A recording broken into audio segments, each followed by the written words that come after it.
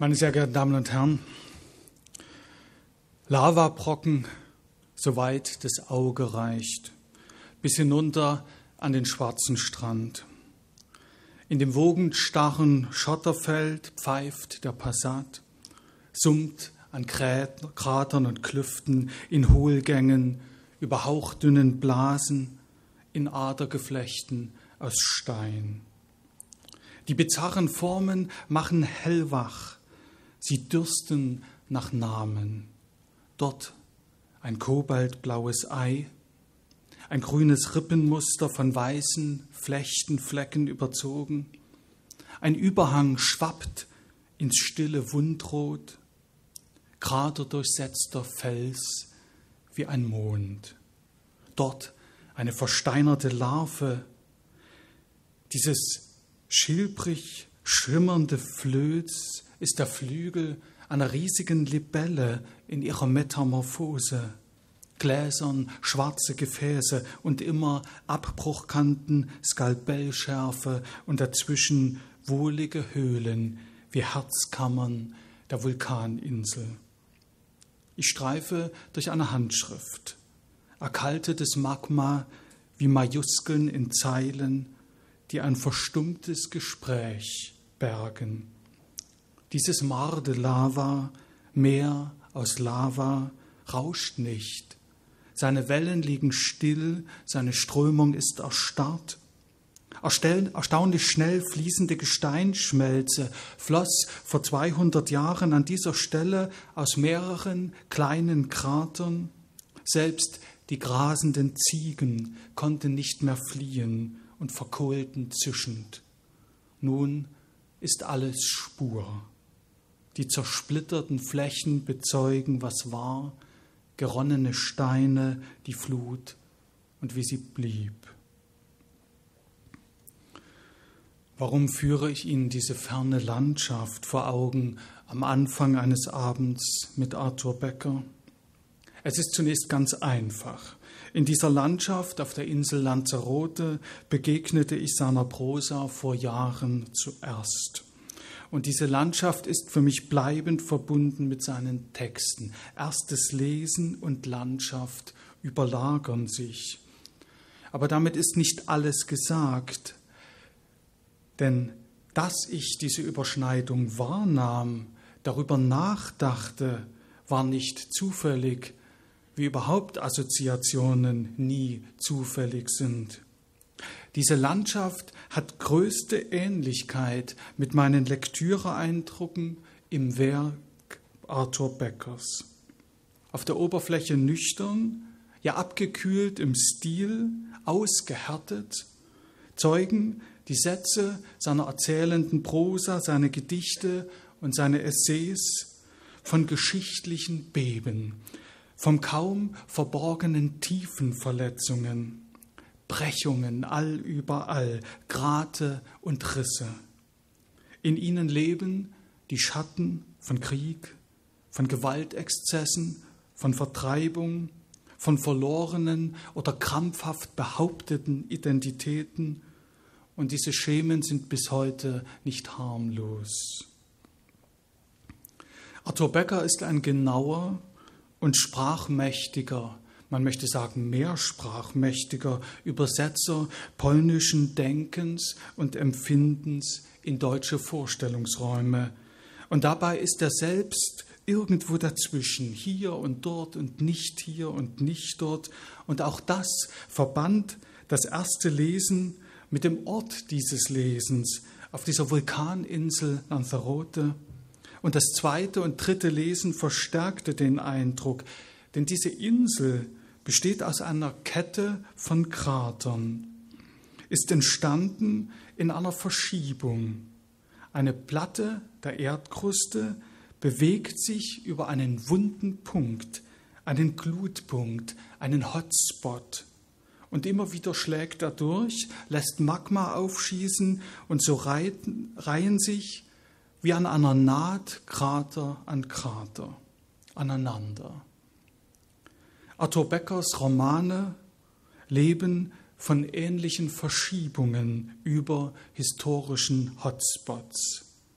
Figuren gehen fort, die Alten sterben und verstummen, und dennoch bricht plötzlich an unerwartetem Ort eine Wunde auf, die nie verheilte. Plötzlich ist wieder da, was vergangen schien, und es trägt die Lebenden aus der Bahn. Und es entsteht eine Kette von biografischen und geschichtlichen Kratern durch die Zeit. Arthur Becker führt uns meisterhaft vor, wie kulturelle und nationale Identitäten verwirrend vielschichtig sind, unübersichtlich, kaum beherrschbar von begrifflichen und von politischem Denken, liegen doch immer zu viele Leichen im Keller. Und dabei hat er die große Sehnsucht nach einem anderen Ort, einer Anderwelt, Kosmopolen, ein Zuhause, an dem die Geschichte utopisch geheilt sei und wo sich Menschen schlicht als Menschen begegnen können.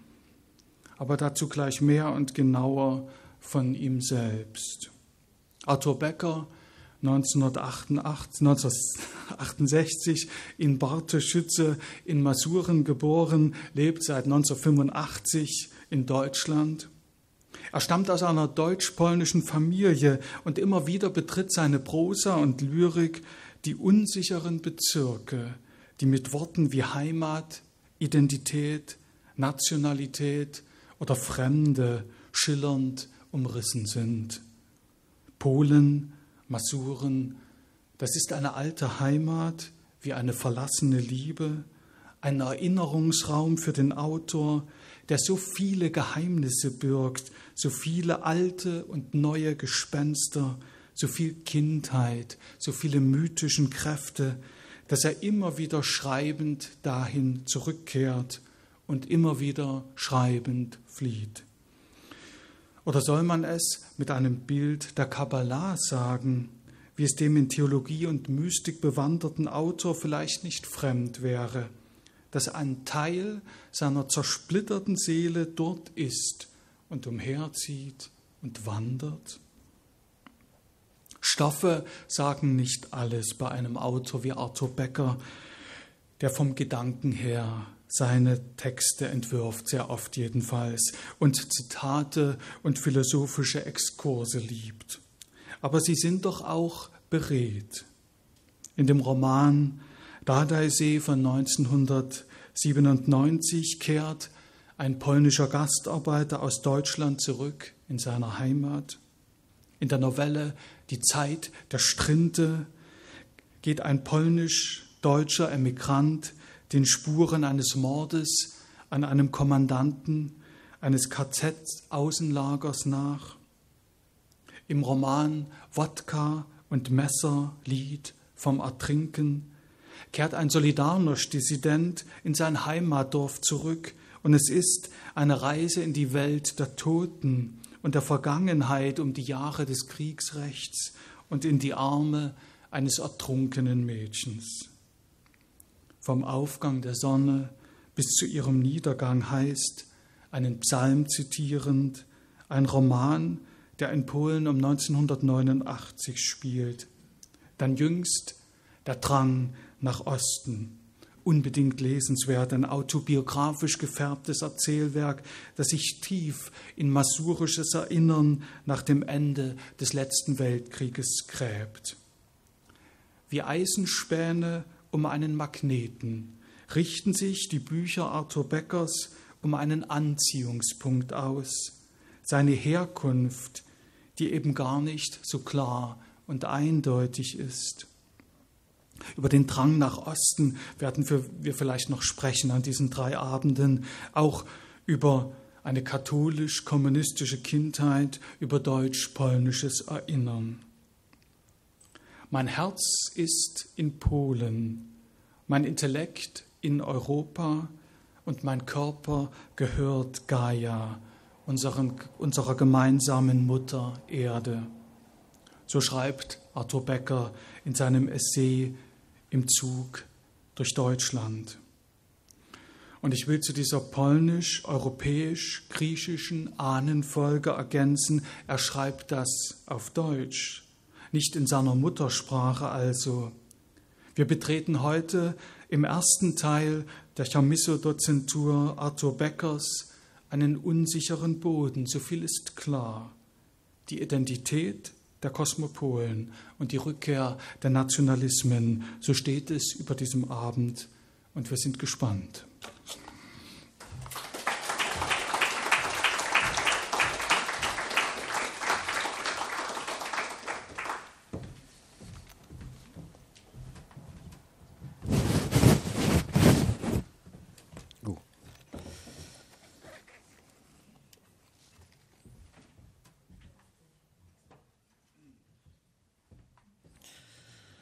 Guten Abend, meine Damen und Herren. Dobry wieczór.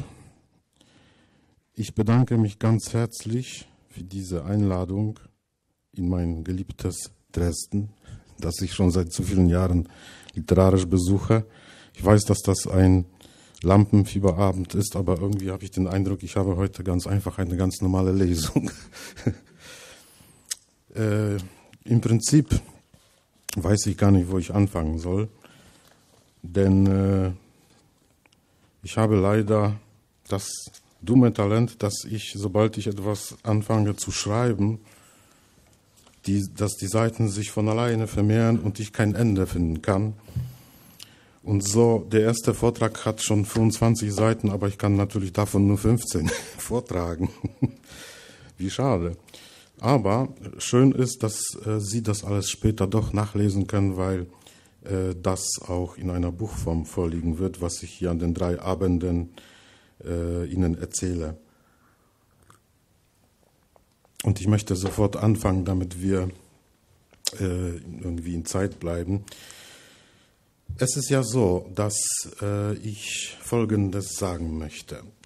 Für mich ist Adelbert von Chamisso auch ein Kosmopole.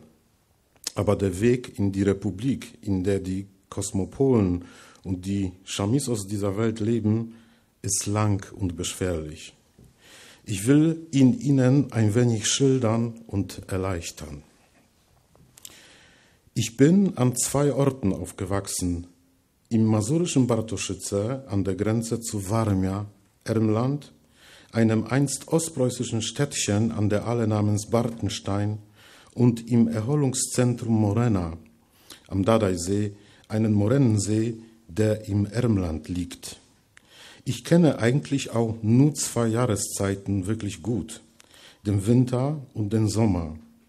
Die Winter gehörten gänzlich unserem sozialistisch-katholischen Provinzstädtchen, in dem damals in den 60ern und 70ern des 20. Jahrhunderts Ermländer, Masuren, Deutsche, Polen, Ukrainer, Weißrussen und Juden sowie Flüchtlinge und Vertriebene aus den ehemals polnischen Grenzgebieten im Osten, aus Litauen und der Westukraine lebten. Und die Sommer regierten am Dadaisee, an dem ich zwischen 1970 und 1982 zusammen mit meinen Eltern die zweimonatigen Sommerferien verbrachte. Bartoszyce liegt in meiner Erinnerung stets unter der ewigen Schneedecke Ostpreußens begraben, in diesem kalten baltisch-sibirischen Klima, auf das in meiner Kindheit noch Verlass war, während die ermländisch-masurischen Seen symbolisch immer für die Zeit der heißen Sommerferien und des sorglosen Lebens im 3000 Seenparadies stehen werden. Denn dort in den Wäldern bauten wir Kinder Holzhütten, an den Seeufern spielten wir Badminton und im Bootshafen unseres Erholungszentrums Morena bewunderten wir die Segler mit ihren Yachten und den weißen Segeln, die vor dem in See stechen im Wind flatterten und hellischen Lärm verursachten. Dort im Erholungszentrum schien die ewige Juli- und Augustsonne des Friedens wobei uns die unzähligen Trinkgelage unserer Eltern am Lagerfeuer, an dem meine Mutter zusammen mit ihrer jüngeren Schwester, die heute in Calgary lebt, polnische Schlager gesungen hatte, so vorkamen, als würden wir alle fast jeden Tag an einem nicht enden wollenden Sommerfest teilnehmen. Es war heiß, schwül und die Feldgrillen ahmten die Zikaden Italiens und Griechenlands nach, ich war glücklich und vereint mit der Natur und meiner Muttersprache, deren Einmaligkeit und Idiosynkrasie ich mir gar nicht bewusst war. und regnete es dann gewaltig aus allen Eimern und Zubern des ermländischen Himmels, manchmal sogar zwei Wochen lang. Fremdsprachen wurden vor allem in unserem Bartensteiner Kino Musa gesprochen. Da in Polen Synchronisation bis heute eine Seltenheit ist, und wenn mir jemand damals 1978 nach der Vorführung des in Manhattan spielenden und die CIA-Machenschaften im Ölgeschäft entblößenden Politthriller Die drei Tage des Condor vor Sidney Pollack erzählt hätte, ich würde im Jahre 2020 im Frankfurter Hotel Lindley wohnen, aus dem Fenster meines Zimmers auf das Gebäude der Europäischen Zentralbank blicken oder mit meinem Fahrrad entlang des Mainufers fahren, um in der Metzler Straße auf der Terrasse einer Villa zusammen mit einer Freundin ein Glas Rosé zu trinken, die verheißungsvoll leuchtenden Wolkenkratzer anzustarren und über Chinas wirtschaftliche Expansion in Afrika zu diskutieren, hätte ich dem seltsamen Propheten sicherlich keinen Glauben geschenkt, sondern ich hätte ihn zum Teufel gejagt. Und Fremdsprachen wurden auch im Morena gesprochen, vor allem Deutsch.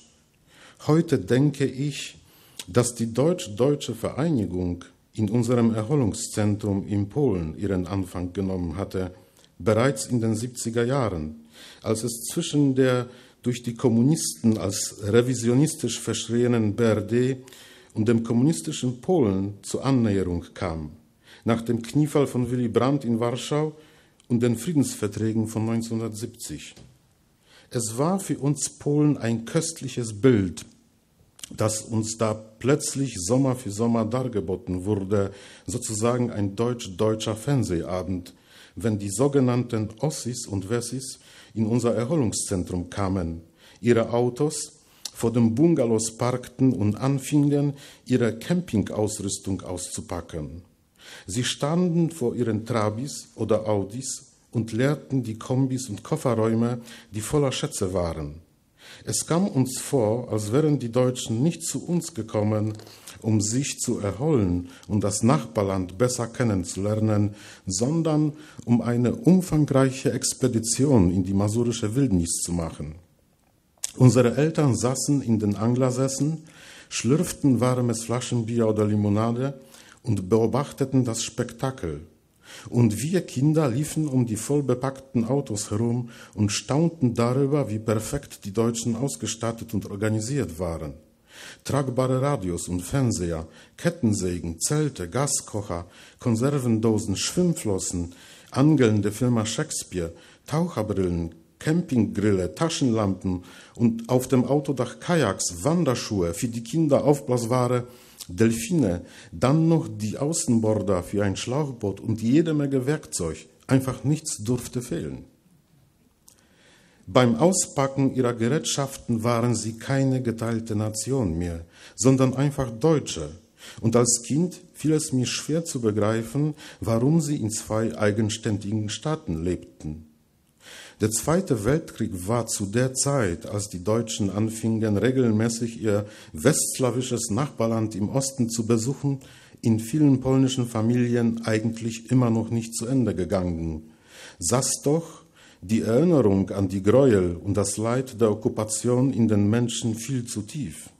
Und nicht selten passierte es, dass den Besuchern aus der BRD wie auch der DDR ein alkoholberauschtes Heil Hitler entgegengeschrien wurde, wofür wir uns schämten.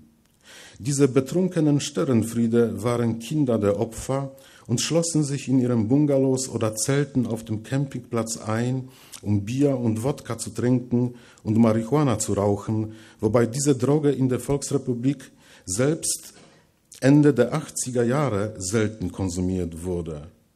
Jedenfalls bemühten sich die meisten polnischen Zeitzeugen und Opfer der Besatzung durch die Nazis um einen friedlichen Umgang mit den deutschen Besuchern, so auch meine Eltern, die nicht nur für mich prominente Diplomaten und Brückenbauer waren.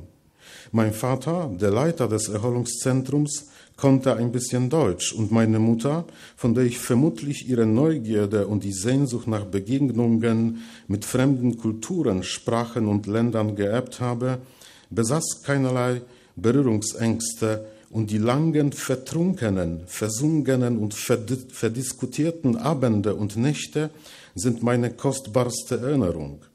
West- und Ostdeutsche saßen an einem Tisch zusammen und bewunderten uns Polen, weil wir in Danzig einen charismatischen Streikführer mit einer ungezügelten Fantasie und Zunge hatten, der nach seinem Friedensnobelpreis eine weltweite Bekanntheit erlangen sollte, wie Nelson Mandela. Gewiss, unsere Cousins und Verwandten aus Rostock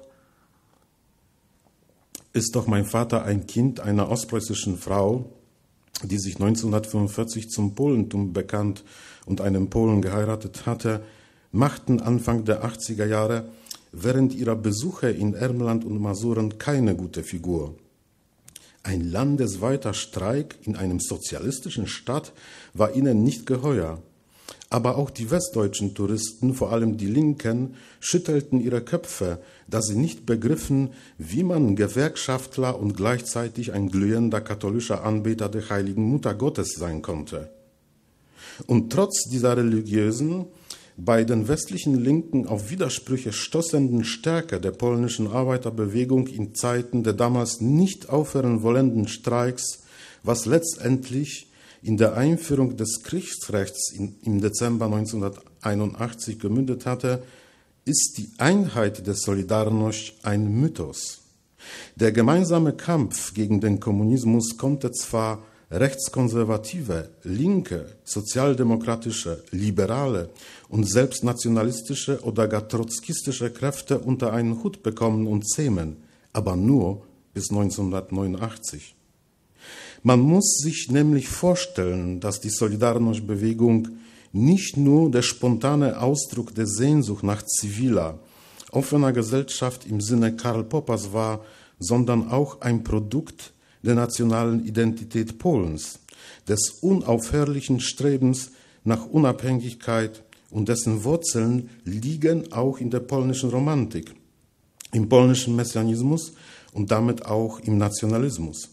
Solidarność war auch eine Art moderner Messianismus und moderne Revolution, jedoch im Sinne der Bewahrung bzw. Wiederauferweckung der nationalen Identität. Das heißt, dass Solidarność sich vor allem durch komplizierte Widersprüche in ihrer Freiheitsideologie auszeichnet. Außerdem wurde ich schon als Kind von der katholischen wie auch der sozialistischen Ideologie philosophisch und politisch wachgerüttelt, so dass mir die zahlreichen Widersprüche, die nicht nur meine masurische Provinz beherrschten, sondern auch die Gesellschaft der Großstädte, schnell bewusst wurden. Ich will in dem Zusammenhang nicht bloß von der Hypokrisie der korrupten Parteisekretäre und des korrupten und demoralisierten Klerus sprechen. Solche Verhaltensweisen gab es in jedem sozialistischen Staat.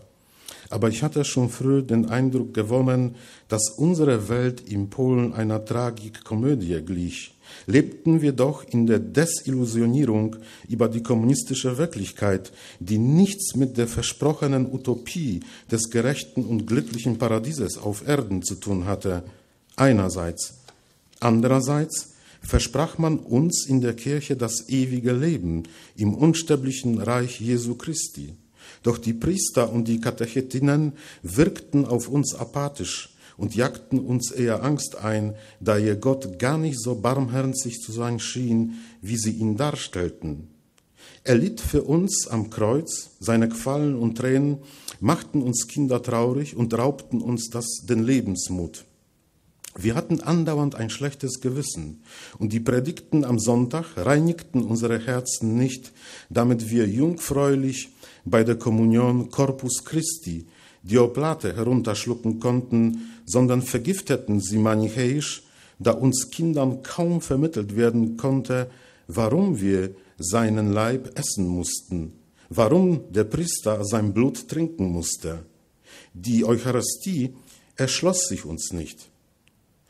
Mein Vater konnte schon 1983 ausreisen, meine Mutter mit meinem jüngeren Bruder 1984, ich blieb in Bartoszyce allein und ich war im Grunde genommen, was meine Begegnung mit der folkloristischen Religiosität anbetraf, heilfroh, als ich 1985 16-jährig endlich den Reisepass bekam und vor diesem leidenden, mir ein schlechtes Gewissen einredenden Christus aus der Bartensteiner Kirche fliehen durfte, obgleich, obgleich ich mir im Westen keine Rettung versprach, keine richtige Bleibe, denn eigentlich war ich nicht nur auf den Heiland und die Kommunisten, auf Jesus und Marx wütend, sondern auf die Welt der Erwachsenen und damit auch auf meine Eltern und darauf, dass sie mich, den angehenden polnischen Dichter, der 1984 in der Gazeta Olsztyńska als Lyriker debütierte, in die BRD entführt hatten.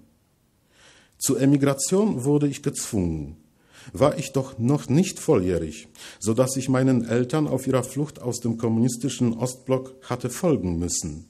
Im Zug der berühmten Berolina nach Hannover freute ich mich jedoch darüber, dass ich meine Eltern und meinen Bruder nach der langen Zeit der Trennung endlich sehen und dass ich dem zum Scheitern verurteilten und durch den Homo Sovieticus vulgarisierten Sozialismus den Rücken kehren konnte.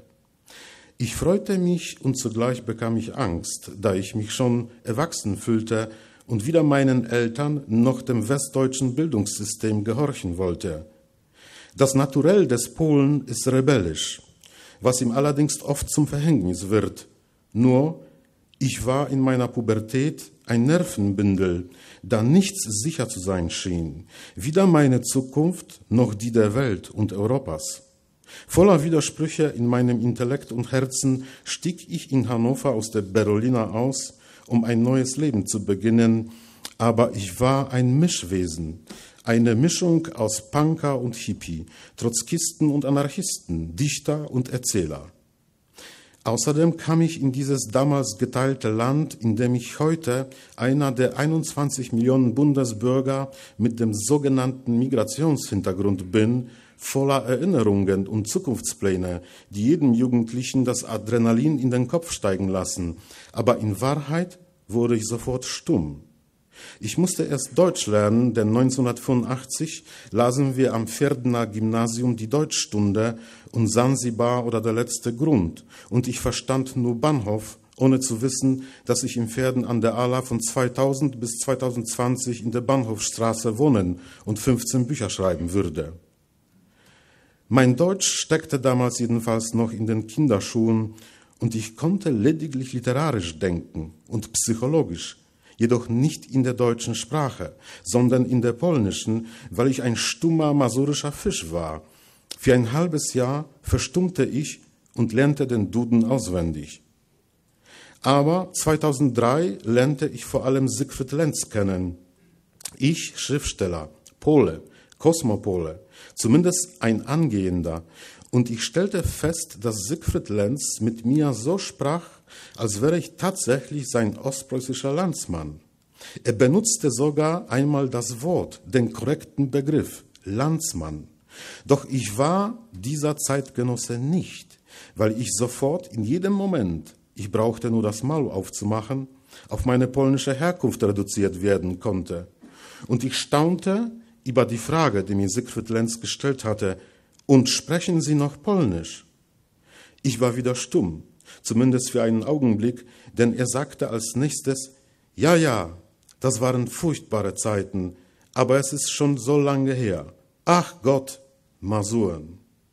Ich habe damals sofort verstanden, dass Lenz ebenso nicht nur auf seine Herkunft reduziert werden wollte, so wie ich in meinen Anfangsjahren in der BRD nicht mehr auf meine polnisch-ostpreußische Herkunft reduziert werden wollte, auf meinen polnischen Akzent, das rollende R. Wir haben doch in unserer Volksrepublik Julio Cortázar und Thomas Benhart gelesen, Pat Messini und King Crimson gehört. Und wir lebten im Mitteleuropa Milan Kunderas. Und Polen war eigentlich das liberalste Land in diesem stalinistischen Jalta-Komplex neben Tschechien und Ungarn. Ich musste nur Deutsch lernen, den Zungenbrecher für einen Slawen, und ich musste begreifen, was eigentlich zwischen 1933 und 1945 in diesem Land passiert war, wie es zu diesem totalen moralischen Versagen einer ganzen Nation in einem der wichtigsten, kulturgeschichtlich betrachtet, Stadt Europas kommen konnte. Aber nach 35 Jahren des Schreibens und Publizierens In meinem Deutschland bin ich wieder ein Heimatloser geworden, ein Hotelmensch, der in seinem Hotelroman Der unsterbliche Mr. Lindley wohnt, in der Fiktion also, aber auch in der Realität, in unserer digital, virtuell, mobilen Wirklichkeit der globalen Diversitäten. Ich sehe in meiner erneuten Heimatlosigkeit, die am Tag der Liquidierung meiner elterlichen Wohnung in Bartoszyce 1985 den Anfang nahm, eine natürliche Konsequenz, zumindest für mein Schicksal und für mein Selbstverständnis, das sich darin ausdrückt, dass ich Kosmopole bin, der in der Freiheitsrepublik Kosmopolen wohnt, dem dritten Raum des Aussprechens, wie es Homi Baba postuliert hat, der die Hybridität im Werk der Migrationsautoren zum Ausdruck bringen soll. Meine Republik Kosmopolen liegt in der Tat zwischen den Welten, nicht nur zwischen Deutschland und Polen.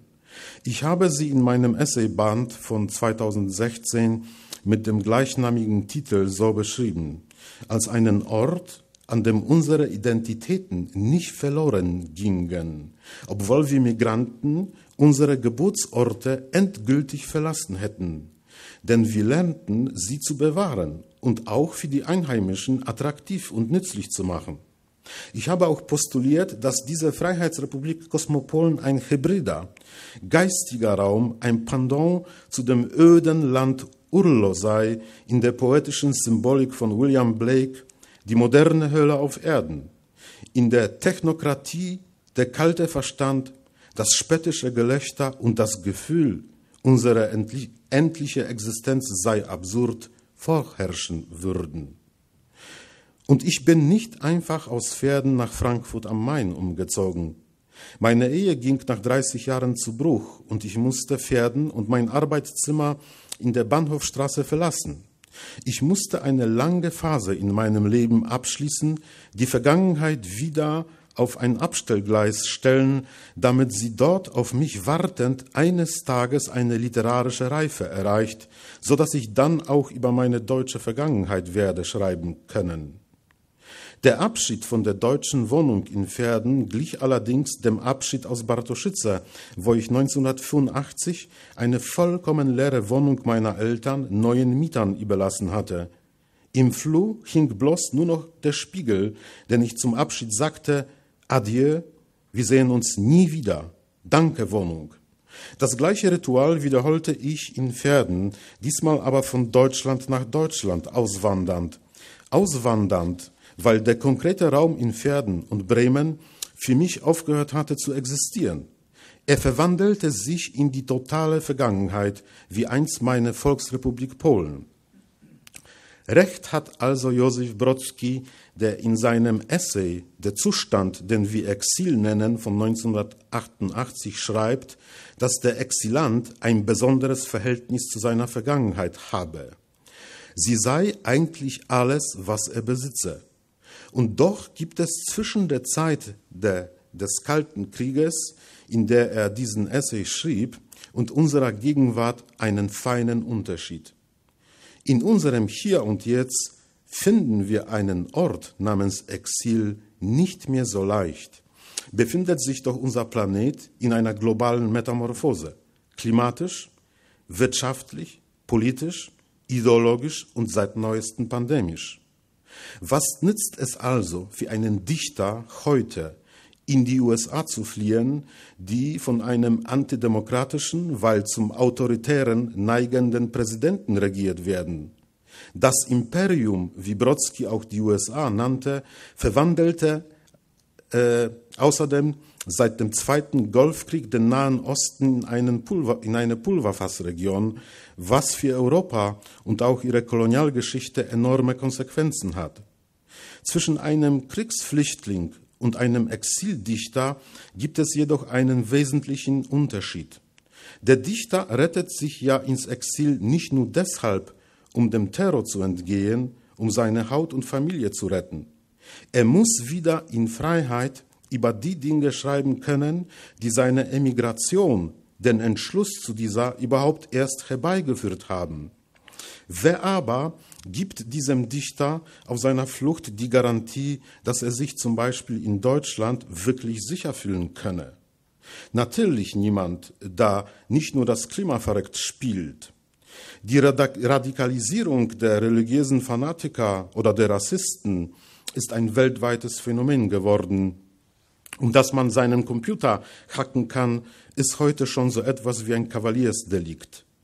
Weder die USA noch Deutschland, wo vor den Synagogen schwer bewaffnete Polizisten stehen und wo es mehr antisemitische Vorfälle gibt als in Polen, das im Allgemeinen als ein antisemitisches Land gilt, fälschlicherweise, sind heute sichere Exilinseln, die sie einmal speziell vor 1989 gewesen waren.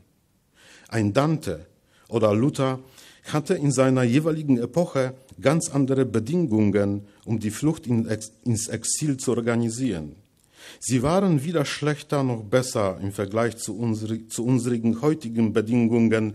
Doch was damals anders war, vor allem die nationale Identität und den christlichen Glauben betreffend, ist der Umgang mit dem Preis, den man für sein Exilleben zahlen muss.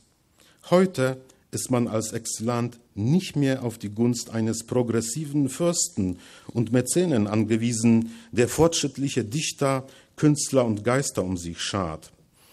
Eine demokratische Verfassung setzt sich heute für den Exilanten und Emigranten ein, um sein Leben und sein Werk zu schützen. Und deshalb und nur aus diesem Grunde sind rechtskonservative und rechtsnationale Parteien, Bewegungen und vor allem Medien so gefährlich. Sie lassen für die Idiosynkrasie eines Emigrantendaseins keinen Spielraum. Sie reduzieren ihn auf den fremden Mann, der vor der Tür steht und Brot stellen will. Sie instrumentalisieren die Angst und erschaffen so eine künstliche Niedergangsstimmung der Kultur. Hat sich jemals ein Dichter aus Dresden Gedanken darüber gemacht, wie ich mich fühlen muss, der ich Arthur Becker heiße, der, sie, der ich von meinen polnischen Zeitzeugen weiß, wie der Generalleutnant der Waffen-SS und Polizei Heinz Reinefahrt im Warschauer Aufstand von 1944 mordend gewittet hatte, wenn ich auf ein soziales Schmarotzertum reduziert werde. Ja, meine Eltern wollten ein besseres Leben, Deshalb entschieden sie sich kurz nach der Aufhebung des Kriegsrechts 1983 nach Westdeutschland auszuwandern. Das stimmt. Aber eigentlich hatten sie sich damals vor allem für die offene Gesellschaft entschieden. Für eine funktionierende Verfassung, Konstitution. Eben nicht nur für das Brot. Und dann gibt es noch die Kehrseite des Ganzen. Der heutige Exilant, der weltweit großen Ruhm genießt, zeichnet sich allerdings gelegentlich durch eine merkwürdige Naivität aus. Nach drei Jahren in seinem Berliner Exil wird man noch nicht verstehen, dass die Deutschen in erster Linie Menschen sind. Für diese so banale Erkenntnis braucht ein Exilant viele Jahre, insbesondere dann, wenn er unter Defetismus leidet. Eine Flucht nach London wird weder die Deutschen noch die Engländer beeindrucken. Und die Schubladisierung, die Reduzierung auf Mentalität, die Muttersprache, den kulturgeschichtlichen und nationalen Kontext, in dem ein Bild von einem Land entsteht, sind typische Merkmale einer sehr einseitigen, weil beschneidenden Perspektive, da auch der Exilant sein neues Zuhause verfremden kann. Wer als Exilant bzw. Emigrant nicht allegorisch denkt, wird in seiner Heimatlosigkeit bis zu seinem Tod gefangen bleiben wie in einer Ungezieferfalle. Er muss sich den dritten Raum des Aussprechens schaffen, da er in seinem Exil niemals die Person wieder werden kann, die er einmal zu Hause gewesen ist, selbst dann nicht, wenn er sich für den Wechsel der Literatursprache entscheidet. Er wird sie, seine neue Sprache, lediglich bereichern, erweitern und noch offener für neue humanistische und geistige Ideen machen, was doch schon ein, als großer Erfolg gewertet werden kann. Aber er wird nie in ihr heimisch werden, wie es die Muttersprachler sind, die mehr oder weniger durch ihre Sprache gefangen genommen werden. Sie sind von ihr besessen und sehen in ihr einzige geistige und literarische Heimat. Was wäre ein Czesław Miłosz ohne seine polnische Muttersprache?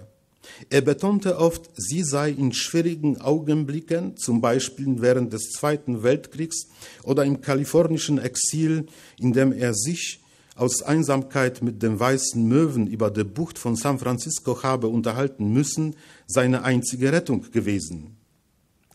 Meine nationalen, meinen nationalen in Polen geschneiderten Mantel empfand ich allerdings schon in meiner Heimat als störend. Das Vaterland, das ich dort auch als Mutterland einmal besessen hatte, ist für einen polnischen Intellekt eine Bürde. Man kann sich verlaufen und dem Nationalstolz und der ewigen Opferrolle direkt in die Arme laufen. Das ist eine traurige und ermüdende Gefangenschaft. Eines der schönsten Gedichte zu diesem Thema aus polnischer Feder stammt von Miłosz, der in Meine treue Sprache schreibt, zitiert in meiner Übersetzung. Meine treue Sprache, ich stand dir stets zu Diensten. Nacht für Nacht stellte ich vor dir Schälchen voller Farben auf, damit du eine Birke und eine Heuschrecke und einen Gimpel haben könntest, wie sie in meiner Erinnerung erhalten geblieben sind. Und das hat über viele Jahre hinweg so gedauert. Du warst mein Vaterland, weil ein anderes gefehlt hat. Ich dachte, dass du auch eine Vermittlerin werden würdest zwischen mir und guten Menschen, selbst wenn sie 20 oder gar nur 10 gewesen oder noch gar nicht geboren worden wären. Jetzt gebe ich meine Verzweiflung zu. Es gibt Zeiten, da scheint es mir, ich hätte mein Leben verschwendet. Denn du bist eine Sprache der Erniedrigten, eine Sprache der Unverständigen und solcher, die sich selbst vielleicht mehr hassen als andere Nationen. Und du bist eine Sprache der Spitzel, eine Sprache der Verwirrten, die krank sind vor eigener Unschuld. Aber ohne dich, wer bin ich dann? Nur ein Schullehrer irgendwo in einem fernen Land. Es Sukzess ohne Angst und Demütigung. Nun, wer bin ich ohne dich? Ein Philosoph wie jeder andere. Ich verstehe aber, das sollte meine Erziehung sein. Der Glorienschein der Individualität wird mir abgenommen, dem Sünder aus einem Moralspiel, vom Schicksal der rote Teppich ausgerollt. Und zur selben Zeit wirft eine magische Laterne Bilder menschlicher und göttlicher Qualen auf die Leinwand. Meine treue Sprache, vielleicht bin ich es, der dich retten muss. Also werde ich weiterhin Schälchen mit Farben von dir aufstellen, mit den hellen und sauberen, wenn möglich, weil im Unglück stets etwas Ordnung oder Schönheit benötigt wird. Berkeley 1968. Miłosz ist mein Meister und ich liebe seine Ironie, seinen universellen, ja kosmischen Blick aus der Vogelperspektive. Aber um ehrlich zu sein, hatte ich in meiner polnisch-sozialistischen Schulzeit schnell eine Aversion gegen die pathetischen und rhetorischen Gefühlsausbrüche entwickelt, die jede sozialistische Partei und Nationalfeier begleitet hatten, so den 1. Mai zum Beispiel. Die Rednerpulte glühten vor Hass auf sozialistische Feinde und das Wort Vaterland war heilig und überall zugegen, omnipräsent auf den Straßen, im Rundfunk und Fernsehen, in den Fabriken und in den Schulen. Und gleichzeitig, was wieder zu einem Widerspruch führte, war ich mir der Tatsache bewusst, wie aussichtslos und heroisch während des Zweiten Krieges, Weltkrieges der Kampf der größten Widerstandsarmee Europas, der Armia Krajowa, gegen die Polen okkupierenden Deutschen war, wie teuer die Verluste waren, wie zahlreich die Opfer, auch später die aus den Henkerhänden des Sowjets, die 1944 ostwärts der Weichsel auf Stalins Befehl sehenruhig gewartet hatten, bis sie, bis sich die Aufständischen gänzlich ausbutten würden. Den Warschauer Aufstand und das NKWD-Verbrechen von Katten bei Smolensk wo zigtausende Offiziere und Repräsentanten der polnischen Elite von den Sowjets per Nackenschuss ermordet wurden, durfte man im Sozialismus nirgendwo offiziell erwähnen, obwohl wir wussten, was in Warschau und Katyn im Krieg passiert war. Die Pariser Exilzeitschrift Kultura versorgte nach 1945 ihre Landsleute in der Volksrepublik Polen mit historischen Büchern und Heften, die ausreichend Beweise für die Verbrechen der Nazis und Sowjets lieferten. Und jeder Intellektuelle kannte Józef Mackiewicz, den konservativen Schriftsteller und Emigranten aus München, der 1941 auf Einladung der deutschen Wehrmacht Katyn besuchen und die Massengräber mit polnischen Offizieren begutachten durfte. Mackiewicz ist bis heute eine umstrittene Gestalt. Doch die dichtenden Kosmopolen, die Jerzy Giedroyć, der Kulturverleger, um sich und seinen Exilverlag in Paris geschaut hatte, kämpften allerdings auf ihre eigene Art und Weise gegen die Dämonen des polnischen Nationalismus, zumal sie ihn in den Zeiten zwischen den beiden Weltkriegen an eigener Haut erleben durften, wie zum Beispiel Witold Gombrowicz oder Miłosz. Gombrowicz Roman Transatlantik, dessen Autor in Argentinien und später in Frankreich gelebt hatte, demontiert sarkastisch die Mentalität des polnischen Mannes, der sich für einen Patrioten hält, vor allem aber für einen unabhängigen Geist, dem aufgrund seiner polnischen Herkunft im Prinzip alles erlaubt ist. Der Roman ist eigentlich eine böse Satire und der sogenannte Sarmatismus die Kultur des polnischen Adels wie auch die Epoche der Romantik werden in diesem Buch auf ihre Schwächen und Imponderabilien untersucht, so dass insgesamt ein urkomisches und vor allem lästerliches Bild des Polen und seiner Heimat entsteht. Nationale Devotionalien werden vom Altar niedergerissen und regelrecht bespuckt. In Miłosz autobiografischen Essayband West- und östliches Gelände von 1961 geht es noch härter zur Sache, was die Kritik des polnischen Nationalismus angeht. Sein Buch wird von den polnischen Nationalkonservativen heute oft zitiert, aber als ein Beispiel des Antipolentums. Wen wundert's? Beide Autoren, Gombrowicz und Miłosz, waren Zeitzeugen, die in den 20er und 30er Jahren ihres mörderischen Jahrhunderts den Siegeszug des Diktators Józef Piłsudski, aber auch den des Herausforderers und Gegners Roman Dmowski, eines Nationalisten und Antisemiten, alltäglich erleben durften, in den Zeitungsberichten, im Rundfunk oder gar auf den Straßen. In west- und östliches Gelände schreibt Miłosz über den tiefen Schmerz der Ratlosigkeit, die sich in ihm eingenistet hat, sah er doch oft keine Rettung mehr für seine hart geprüfte Heimat, zumal das Ende des sowjetischen Imperiums auch für ihn in weiter Ferne zu liegen schien, in meiner Übersetzung. Die kommenden Jahre, Jahrzehnte nahmen für mich, wenn ich auf der Straße ging, ein wachsames und angespanntes Aussehen völliger Sinnlosigkeit an, und was auch immer ich bisher erlebt hatte, hatte sich nach einer kurzen Zeit der Erleichterung oder Selbstverteidigung angestaut und verdichtet, so dass ich bereit war zu behaupten, ich gebe es ehrlich zu, dass auf diesem Teil Europas ein Fluch lastet, dass da nichts mehr hilft.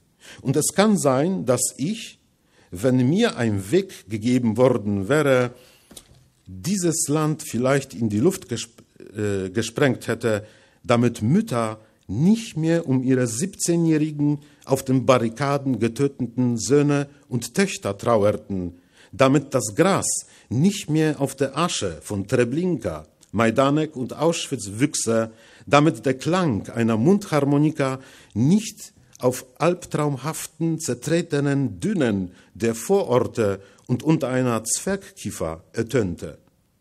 Denn es gibt eine Gattung des Mitleids, das man nicht ertragen kann, und dann wird sein Objekt, zumindest subjektiv, in die Luft gesprengt. Das heißt, wir werden nur noch von einem einzigen Wunsch überwältigt, nicht mehr hinschauen zu müssen.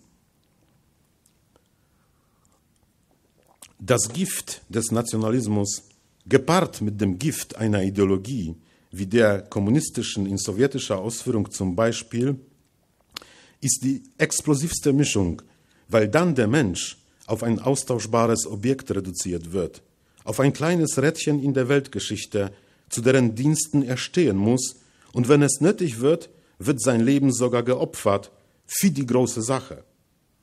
Kaum einer hat dieses doppelte Gift so bitter erfahren wie Gustav Herrling-Grudzinski, der Kosmopol aus Neapel, der als Redakteur für die Kultura in Paris und seinen Freund Jerzy Giedroyć titanische Arbeit geleistet hatte.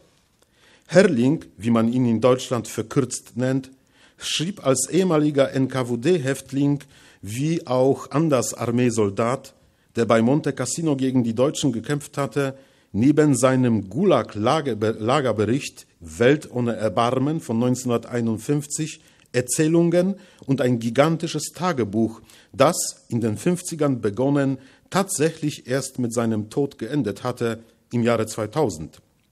Sein Schwiegervater war Benedetto Croce, ein Humanist und Antifaschist, der wohl das 19. Jahrhundert und seine Mechanismen, die zu den Katastrophen des Ersten und Zweiten Weltkrieges wie auch zum Siegeszug des Faschismus und Kommunismus geführt haben, von allen Philosophen seiner Epoche am sensibelsten verstand und beschrieb.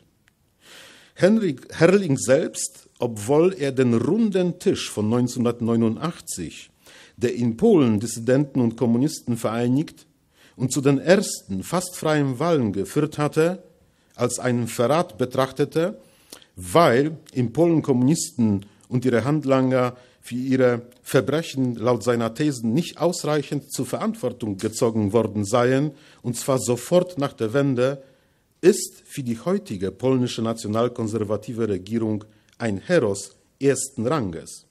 Hier taucht schon der nächste Widerspruch auf. Herrling verabscheute den Nationalismus genauso stark, wie es seine Freunde Ignazio Silone und Nicola Charamonte taten. Die beiden kritischen Kommunisten, Antifaschisten und Herausgeber der Zeitung Tempo Presente. Herrling würde sich heute solche Parteien wie die PiS oder die AfD mit Entsetzen anschauen, wie auch die heutigen Demonstranten, die mit satten Bäuchen auf die Straße gehen und eine Konstitution, also ein juristisch-demokratisches Heiligtum mit der regierenden Partei identifizieren, im Guten wie im Bösen. Man sollte sich auch in diesem Zusammenhang einfach vor Augen führen, was Herrling in seinem sowjetischen Gulag-Lager erlebt hat. Als junger polnischer Soldat, der einfach nur Schriftsteller werden wollte. Ich erinnere mich an die Gespräche zwischen den Häftlingen, die er in seinem Lagerbericht wiedergibt. Die Deutschen hätten, so das, das Narrativ des Kosmopolen aus Neapel und seiner Leidensgenossen in seinem Buch, eine äußerst effektive und gnadenlose Methode entwickelt, die Gaskammern. Aber die Sowjets hätten noch grausamer sein wollen, noch effektiver als Hitler. In ihren Gulag-Lagern sollten die Häftlinge einen langsamen und qualvollen Tod erleiden, über viele Jahre hinweg, sinnlose Arbeiten ausrichtend im Wald, vor allem im Winter.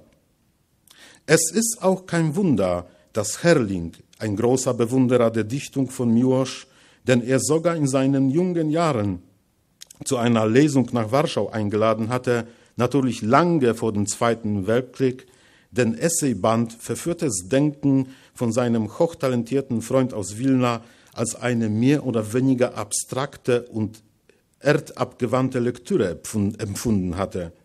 Nach fünf Jahren im diplomatischen Dienst der Volksrepublik Polen in Washington und Paris hatte Miłosz ausreichend viel Zeit gehabt, um zu sehen und zu analysieren, was Stalinismus in Wirklichkeit bedeutet. Miłosz verführtes Denken handelt dabei eigentlich von den hegelianisch-marxistischen Versuchungen, denen der junge kommunistische Staat in Polen seine besten Intellektuellen ausgesetzt hatte. Vor allem erzählt aber dieser Essayband von der Schwäche der Intellektuellen, die sich selbst belügen, verstecken oder beim Morden mitmachen mussten, um in dem stalinistischen System überhaupt überleben zu können. Für Herrling, der dem Tod im Gulag-Lager täglich begegnet war weil die Häftlinge vor Erschöpfung und Hunger wie Fliegen krepierten, erschien Miłosz Essayband wie eine gut gemeinte, dem Humanismus verpflichtete Kopfgeburt eines erfolgreichen und zugleich verzweifelten Diplomaten, Dichters und Intellektuellen. Mehr nicht. Miłosz geniale psychologische, soziologische Analyse der menschlichen Verhaltensweisen in einem Regime hatte Herrling natürlich begriffen, aber trotzdem war er seinem kosmopolitischen Freund, warf er seinem kosmopolitischen Freund vor, dass er letztendlich die endgültige Grausamkeit der sowjetischen Wirklichkeit unter Stalin nie verstehen werde, weil ihm die Gulag-Lagererfahrung fehle. Dieser Konflikt ist bezeichnend, denn er zeigt, wie wichtig die Widersprüche für das Verstehen historischer und kulturgeschichtlicher Prozesse sind. Sobald es um zwei Dinge geht, das Überleben in einem Gulaglager und das Überleben in der Elite eines Regimes, dem eine radikale Ideologie den Weg beleuchtet. Sie werden sich natürlich fragen, warum ich eigentlich all dieses, all diese Geschichten hier erzähle. Schließlich geht es doch um eine Poetikdozentur. Ja klar, darum geht es. Aber ich musste als polnischer Autor, der auf Deutsch schreibt und der damit auch ein deutscher Autor geworden ist, einen sehr langen Weg zurücklegen. Mir ist in meiner Volksrepublik Polen vor allem eine Identität in die Wege gelegt worden, die nationale, der ich mich mein Leben lang hätte verpflichtet fühlen sollen. Solch einen Eindruck gewann ich schon schnell, weil ich bereits ein aufgeweckter und nonkonformistisch eingestellter Jugendlicher war. Und ich war mit dieser Aufbürdung auch dann nicht einverstanden, als nach der Wende in Polen und anderen ehemaligen Ostblockländern ein langsamer Prozess der Demokratisierung einsetzte. Ich wollte auch nicht auf meine antikommunistische Haltung reduziert werden, zumal diese in Polen stets populär war und damit auch letztendlich wenig glaubwürdig. Jeder behauptete, er sei Antikommunist. Unter anderem deshalb musste ich auf der Suche nach meinem Kosmopolen einen so langen Weg zurücklegen, weil ich zudem auch noch die folkloristisch-katholische Identität aus meiner Bartensteiner Provinz mit der atheistischen, stattlich verordneten kombinieren musste und beide Ideologien verursachten automatisch zahlreiche Widersprüche für meine existenzielle, ja ontologische Situation. Schlimm genug ist aus diesem Grunde der Versuch vereinzelter Ignoranten in unserem heutigen Deutschland, den ehemaligen Bürgern aus dem sozialistischen Lager den Vorwurf zu machen, wenn auch ganz leise, sie hätten viel zu oft eine sogenannte postnationale Geschichtsperspektive. Wie bitte? Polen hat sich zum Beispiel bis heute von den Schrecken der deutschen Okkupation noch nicht richtig erholt. Genauso wie die Juden, ihre Brüder und Schwestern tragen sie tiefe Narben. Die ehemalige DDR wohnt nach wie vor in vielen gekränkten Seelen und Intellekten, weil die DDR ein terroristischer Unterdrückungsapparat gewesen ist. Das Leid der Opfer aus dem ehemaligen Ostblock wird in Westeuropa allerdings viel zu oft rationalisiert und vor allem im Kontext des Kalten Krieges analysiert. Die Individuen mit ihren Idiosynkrasien und das Psychoanalytische bleiben dabei auf der Strecke. Ich danke Ihnen herzlich.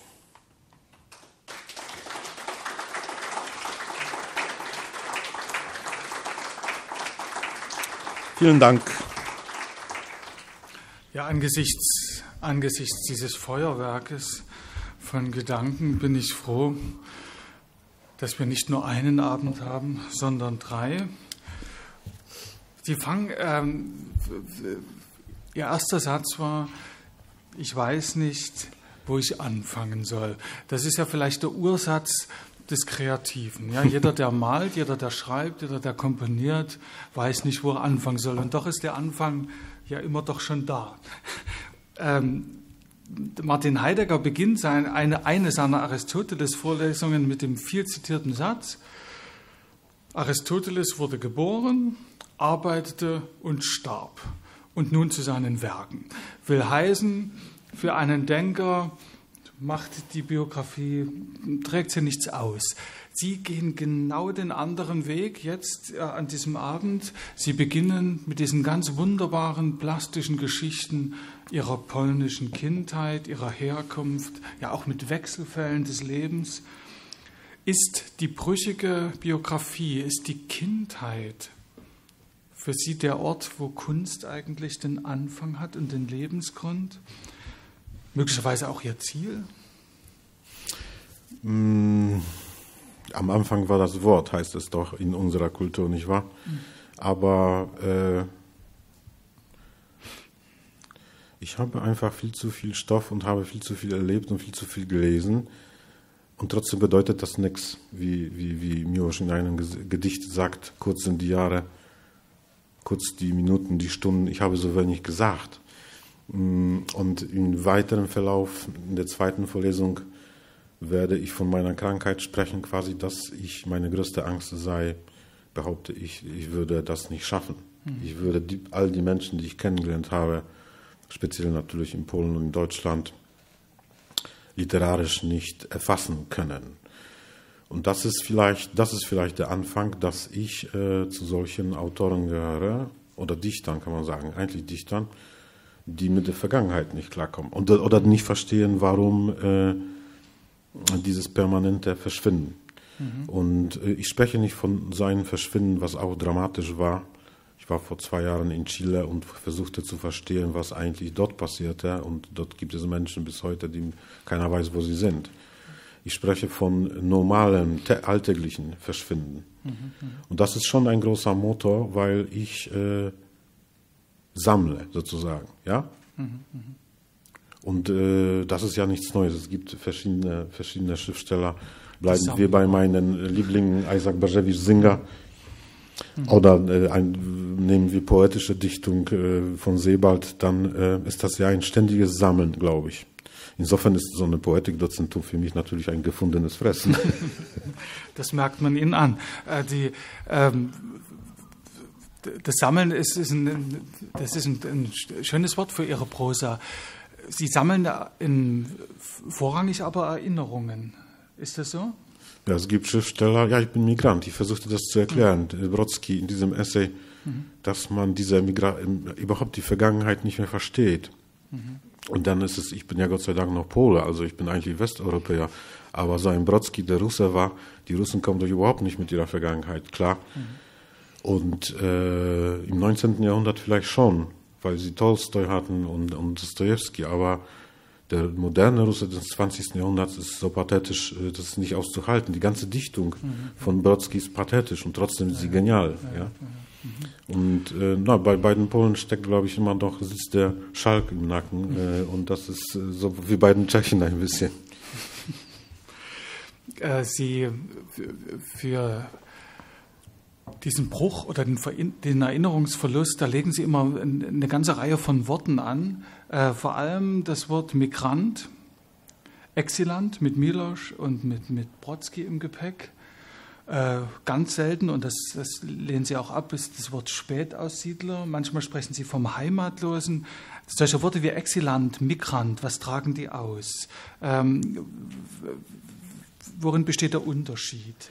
Äh, was, was bedeuten Sie? Ich mag, ja, ich mag diesen, äh, ich benutze ihn auch, weil ich so viele Essays und publizistisch schreibe, aber ich mag tatsächlich nicht, es hat äh, fast äh, 25 Jahre gedauert, bis ich im Deutschen das Wort Heimat äh, mhm.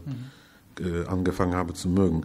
Äh, aber Spätaussiedler ist ein sehr problematisches, äh, mhm. ein sehr problematischer Begriff, wo man sieht, wie die Bundesrepublik Deutschland mit ihrer ganzen Stauffenberg-Ideologie der Slawen gehasst hat, mhm. äh, scheitert. Und äh, ich verstehe den Versuch, äh, den Begriff der Vertriebene, vertriebene Flüchtlinge zu ersetzen, aber aufgrund des komplizierten deutschen 20. Jahrhunderts sind äh, manche Vokabeln funktionieren noch nicht. Und deshalb benutze ich das selten, weil was bedeutet das, dass ich ein, vor allem ist das ein sch äh, schlechtes Deutsch, Spätaussiedler ist schon, aber Spätaussiedler ist einfach schlechtes Deutsch. Und das ist ein Riesenproblem. Während äh, Exilant oder Migrant oder Emigrant, das sind äh, weltläufige, globale Wörter, mhm. die jeder versteht. Und äh, auch wenn mich Freunde belächeln, äh, die von Kulturgeschichte wenig verstehen, wir hätten zu Hause einen deutschen Schäferhund gehabt und deshalb durften wir in den 80er Jahren nach Deutschland gehen. So einfach ist das nicht, weil ich, äh, wenn man aus Polen oder Israel nach Deutschland kommt, dann ist das ein anderes Auswandern als für einen äh, Russen oder Italiener in den 50er oder 60er Jahren. Mhm. Ich komme aus einem Land, in dem A, der Holocaust stattgefunden hat, zum größten Teil, und die zweite Vernichtung einer Nation, und da bin ich genauso streng wie äh, Tony Judd, man darf Holocaust für diese Vernichtung nicht benutzen. Das ist singulär, mhm. das ist reserviert, aber trotzdem äh, hat so eine zweite Vernichtung stattgefunden. Und deshalb sprach ich heute von, diesen, von dieser postnationalen äh, Geschichtsperspektive, weil ich verstehe zwar manche SPD-Politiker in Deutschland, aber trotzdem sind sie nicht allzu sehr diplomatisch, weil äh, ich natürlich verstehe, dass man in Deutschland diese Perspektive deshalb vor allen Dingen nicht mehr haben will, weil man sowieso vor Nationalismus große Angst hat aufgrund der, äh, dieses Verbrechens mhm. 33 bis 45. Aber das bedeutet nicht, dass andere Völker, die zu den Opfern zählen, mhm. solch eine Perspektive schon haben können. Ja. Und deshalb sind, ja, muss man da sehr differenzieren, sehr genau sein, weil man äh, dann bestimmte Debatten und das, die Deutschen sind ein Volk der Debatten, der Debatten, dieses Land ist ein Volk der Debatten, äh, äh, einfach vermeiden könnte, weil sie einfach nicht logisch sind, mhm. würde äh, ein Philosoph sagen zumindest. Auf den ähm, Begriff des äh, Kosmopolen will ich gleich noch mal kommen. Ich, ich, will noch einen kurzen Blick auf diesen Bruch werfen, der ja für Sie doch in Ihrer Biografie und in Ihrem Schreiben äh, ein, ein, permanentes Kraftzentrum auch ist.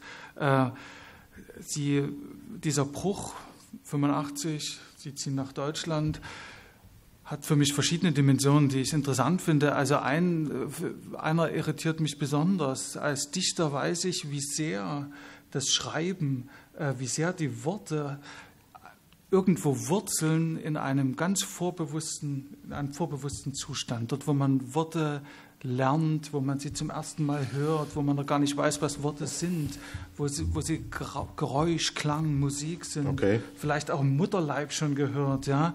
Und sie verlassen gewissermaßen diesen Raum, um in eine andere Sprache Fuß zu fassen.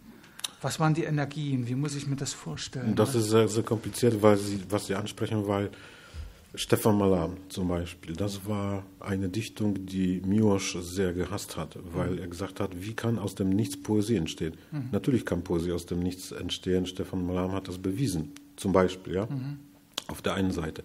Auf der anderen Seite mh, mm, mh, mm, dieses äh, konkrete, was äh, Detail ist das ist äh, in der polnischen Dichtung die komplett die polnische Schule, die sich eigentlich fragt, wenn ich von einem Tisch ein Fragment oder nur zwei Zentimeter von einem Tischbein sehe, was kann ich eigentlich über die Welt sagen? Nicht wahr? Oder was kann ich über den Tisch sagen? Das ist Zbigniew Faber, das ist Miłosz, das ist Dichtung, die plötzlich entgegenschwamm äh, dem, äh, dem Bitniks in den Vereinigten Staaten, aber auch total entgegen dem, was eigentlich Rilke Weltinnenraum nennt. Mhm. Und das, äh, das war neu und das, äh, da passt schon der Trackel, von dem wir heute auch hier am Rande äh, äh, sprachen, äh, mit den Gästen, mit verschiedenen Gästen, äh, aufgrund seiner modernen Rhetorik passt oder passt heute viel besser, um diese komplizierten eigentlich äh, die Epistemologie betreffenden Prozesse zu beschreiben. Mhm. Und das, ich bin froh, äh, nicht deshalb, weil ich die deutsche Dichtung äh, schlechter finde, ich mag sie bloß, sie ist halt anders, aber ich bin froh, dass ich auch direkt aus dieser polnischen Schule komme, weil mir diese erkenntnistheoretischen Sachen näher liegen, mhm. als äh, womöglich dieser sehr schwer beschreibbare, aber dennoch vorhanden, vorhandene Weltinnenraum, mhm. wie das bei Rilke ist. Mhm. Ja? Also das ist ja ein, ein, ein Eindruck bei mir jetzt äh, als, als Leser von Übersetzungen, dass die polnische Lyrik ja stärker gedanklich ist, äh, Philosophie nah, oft auf die Pointe zielt äh, und die, die äh, deutsche Lyrik eher klanglich arbeitet. Ne? Ja, gut, in Deutschland, ist, äh, Deutschland darf man nicht so schnell vielleicht in die Schublade, weil Deutschland so riesig ist. Riesig, Nikolaus genau. Born, ja, Rolf ja. Dieter Brinkmann haben ganz andere Sachen gemacht. Mhm, mhm. Und die äh, liest man Gedichte von Kudrawa zum Beispiel, der genauso wie ich sehr explizit die Erfahrung des Kommunismus und Sozialismus erlebt hat, mhm. dann weiß man, dass äh, sehr wohl die deutsche Dichtung das auch kann. Also man mhm. kann ja einfach die, die Lieder von, von Biermann nehmen. Das ist auch eine ausgezeichnete Dichtung letztendlich. Mhm, mhm. Aber Fakt ist, das, hat, das fand ich schon interessant, als ich in den 80ern nach Deutschland kam, dass A, Romane, Romane, Romane, Romane, muss man ja schreiben, damit man überhaupt Schriftsteller ist, was für mich völlig äh, neu war, weil ich mir dachte, ein Schriftsteller schreibt Gedichte, Essays und Prosa. Vielleicht zwei Romane. Ist nicht typisch für die polnische Literatur, der Roman. Ne? Nee, obwohl mhm. er sehr gut geworden ist. Mhm. Ich meine, Twardoch, Tokarczuk, sie feiern mhm. internationale Erfolge. Mhm. Aber auch tatsächlich eine ganz andere äh, Voran äh, Umgangsart mit der, mit der Sprache. Mhm. Sprache äh, in Deutschland, in, im Deutschen habe ich mir gedacht, wow, das ist ja hier so ein riesengroßes äh, hierarchisches und äh, Heiligtum, kann man sagen. Wo ist die Ironie? Wie, warum gibt es keine Brechung, was man aus dem Polnischen kennt? Sie nehmen in Ihren Texten sehr häufig und in, heute Abend auch in Ihrem Vortrag wieder explizit eine dritte Identität an, eine Art äh, Ideenidentität, möchte ich es mal nennen, so eine Art Überort, ein Bewegungsbild, das Bild des Kosmopolen. Sie legen in dieses Wort sehr, sehr viel hinein. Es ist ein, ein unglaublich schillerndes Wort, also bis hinein in eschatologische äh, und, und ja. utopische Dimensionen. Was ist ein Kosmopole? Hm, diese Frage liebe ich. Ja, genau, ich wusste das, dass Sie.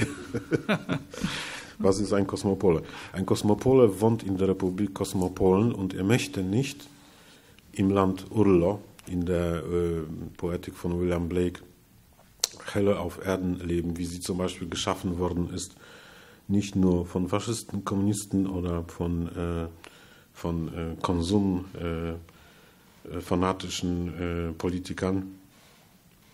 das heißt, er lebt sehr ontologisch und existenziell bewusst mhm. und fragt sich, was ist beständig und warum müssen in erster Linie Muttersprache, nationales Bewusstsein und die Kulturgeschichte des Heimatlandes vorrangig, was eigentlich im 19. Jahrhundert als Fortschritt galt, nicht wahr? Mhm. Denke ich jetzt an, an, die Texte von Gellner oder was überhaupt Nationalismus sei, wie fortschrittlich mhm. letztendlich ein Luther war, mhm. indem er die Bibel übersetzte.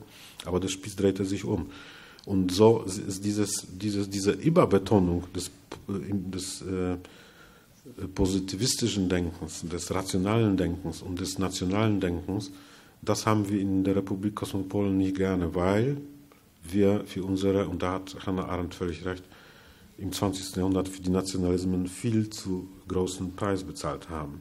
Und wir haben, das war natürlich ein sehr moderner, schneller Prozess, aber er ist meiner Meinung nach kläglich gescheitert. Und deshalb habe ich Angst äh, tatsächlich auch vor vor dem äh, Wiederkommen der Nationalismen, weil wir haben gesehen, dass zu nichts führt. Und irdisch beantworte ich diese Frage, aber wenn ich sie geistig beantworten sollte, dann würde ich sagen, muss sich jeder Mensch, äh, insbesondere unsere Regierungen, Intellektuellen, Künstler, Politiker, also diejenigen, die geistig äh, Europa, bleiben wir in Europa, äh, gestalten, fragen, in, welchem, in welcher äh, geistigen Republik sie leben. Mhm. Was, ist das, äh, was ist das für ein Raum? Es bin ich, lebe ich in einem Raum, in dem das Absurde regiert und das, äh, der Sand regiert, weil ich Atheist bin und mir denke, wie Gombrowicz nach dem Tode kommt äh, sowieso nichts dann ist sowieso äh, ein, das Ganze ein äh, absurder Kreislauf, der zu nichts führen kann. Und diese Frage werde ich in der zweiten Vorlesung richtig angehen, weil sich diese Frage auch in dem Brüder Karamasow äh, Dostoevsky gestellt hat. Warum Kinder, und es ging ihm um die Erbsünde, ständig für die Väter büßen müssen. Also er stellt diese Frage dann natürlich allegorisch. Und dann, äh, wenn, wenn ich äh, das so betrachte, was, welche Fehler die Aufklärung gemacht hat, die sehr schön herausgearbeitet hat, der Michel Foucault in seinem wunderbaren Essay Was ist Aufklärung auf Kant antwortend, habe ich mich gefragt, in welcher Republik lebe ich eigentlich? Und es war mir sofort klar, ich kann eigentlich weder in Deutschland noch in Polen mhm. leben. Ich habe meine eigene geistige Republik und ich lade gerne Gäste ein.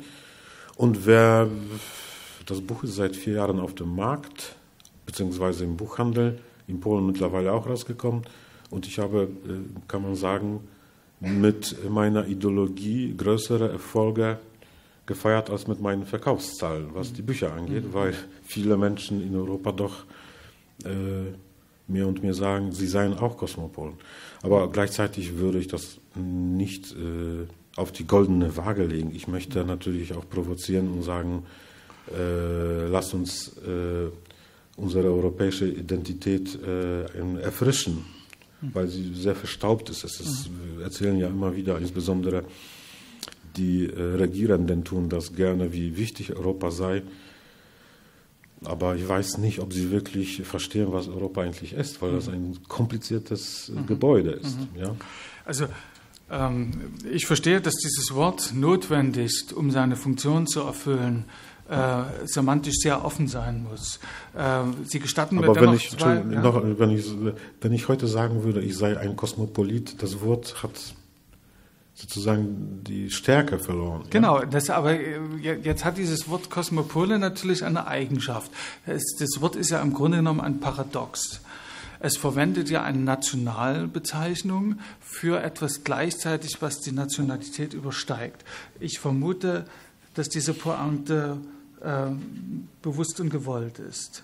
Dass es also nicht um die Negation von Nationalität geht, nicht um etwas Drittes, sondern irgendwie eine Durchdringung. Oder wie soll ich das verstehen?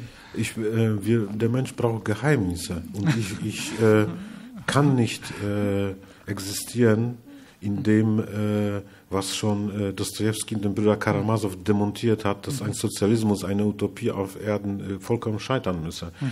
Und das, äh, das ist das Problem, dass ich sehr skeptisch bin gegenüber allen, die hm, Wahrheiten verkaufen. Mhm. Die sagen, ich weiß es, nach dem Leben gibt es nur den Sand oder ich weiß es, es gibt äh, äh eine Seele muss 500 Millionen Mal reinkarnieren, um eine bestimmte weitere Ebene zu erreichen.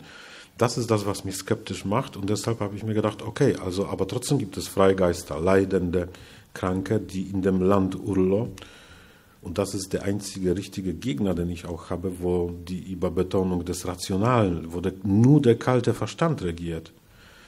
Da möchte ich nicht leben. Und was der, wozu der kalte Verstand fähig ist, wenn er nur so da nackt steht, hat man zum Beispiel gesehen in, äh, in der Volksrepublik Polen oder in der DDR oder speziell im Nationalsozialismus. Mhm.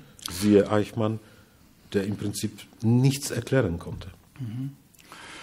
Mein Blick fällt auf die Uhr. Eine letzte Frage will ich aber dazu doch noch stellen, weil ich glaube, es äh, für die Selbstverständnisse Europas und auch für unsere heutigen äh, Diskussionen innerhalb unserer Gesellschaft über neue aufbrechende Nationalismen eine doch äh, wichtige Frage ist.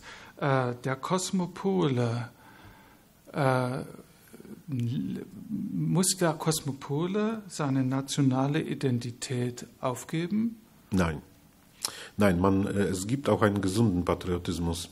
Es muss nicht ein Patri äh, Patriotismus und Konservatismus hat mhm. doch nichts mit nationalkonservativen, mhm. rechtsnationalen zu tun. Mhm. Und das ist das Angebot, man muss, man muss nicht unter diesem Defetismus leiden. Man mhm. kann sein Land, das ist eine große Krankheit unter den Immigranten, mhm. speziell Russen und Türken in Deutschland. Man muss seine Wurzeln nicht ablegen, aber man muss open-minded sein und nicht narrow-minded. Man muss offen sein für das Land, in dem man lebt. Wenn man mhm. das nicht tut, mhm. dann wird man in diesem Land nicht glücklich mhm. und man wird ein Phantom leben, also ein Land, genau. das, es, das es eigentlich aber auch nicht mehr gibt. Eine reine Idee, ja, eine reine, eine genau. reine Idee. Ja. Also das ist, das ist, glaube ich, an diesem Kosmopolitischen schon soweit verständlich. Und dennoch geht das, wie gesagt, äh, das werden wir in den weiteren zwei Vorträgen berühren, weil wir sprechen jetzt über die irdischen Sachen, aber die wichtigste Frage ist, was ist aber das Beständige an uns, wenn unsere äh, Identitäten so zerbrechlich sind. Wir wissen doch, dass es dieses Sonnensystem nicht einmal irgendwann geben wird. So, be, so bedeutet dann das für einen Schriftsteller doch, der muss sich doch fragen, genauso wie Dostoevsky sich das gefragt hat, was, ist, was für eine Identität hat dann der Mensch? Und das ist doch die Frage, die Ivan Karamasow in den Wahnsinn getrieben hat. Und wenn die Literatur das nicht leistet, dann hat sie für mich verloren. Also wenn sie diese Frage nicht stellt. Wie das literarisch gemacht wird, das steht nicht zur Debatte. Das mag sogar ein schlecht geschriebenes Buch sein oder ein gescheiterter Roman. Aber diese Frage muss gestellt werden.